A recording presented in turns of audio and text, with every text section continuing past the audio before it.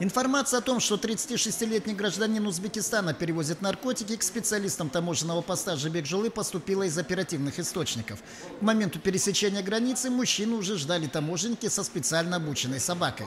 Чтобы вычислить из толпы людей, пересекающих границу контрабандиста, бельгийской овчарке потребовались считанные минуты. 27 февраля текущего года, примерно в 11 часов времени, при проведении оперативно-розыскных мероприятий совместно с, с пограничной службой Комитета национальной безопасности Республики Казахстан и сотрудников таможенного поста Жбек-Жола с помощью э, служебно-розыскной собаки э, задержан гражданин Узбекистана, при таможенном досмотре у которого э, в обуви было обнаружено вещество, похожее на наркотик. Зеленая масса была упакована в целлофановый пакет, и, судя по всему, мужчина был уверен, что границу пересечет благополучно.